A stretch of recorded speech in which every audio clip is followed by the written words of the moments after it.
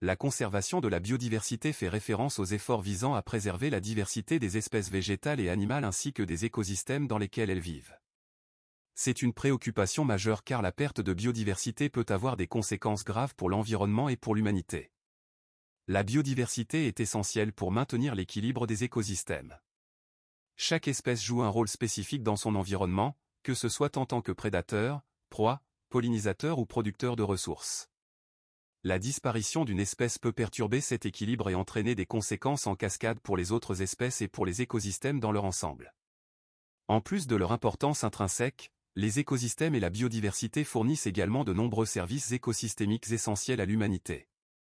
Cela inclut la fourniture de nourriture, de médicaments, de matériaux de construction, de régulation du climat, de purification de l'eau, de pollinisation des cultures et bien plus encore.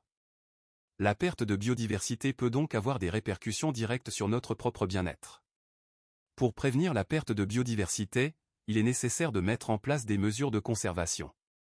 Cela peut inclure la création de réserves naturelles et de parcs nationaux pour protéger les habitats naturels, ainsi que des lois et réglementations pour limiter la destruction des écosystèmes et la surexploitation des ressources naturelles. La conservation de la biodiversité nécessite également une sensibilisation et une éducation du public. Il est important de comprendre les enjeux liés à la perte de biodiversité et les actions que nous pouvons tous prendre pour contribuer à la conservation. Cela peut inclure des choix de consommation durable, la protection de la faune et de la flore locale, la participation à des programmes de restauration des écosystèmes, etc.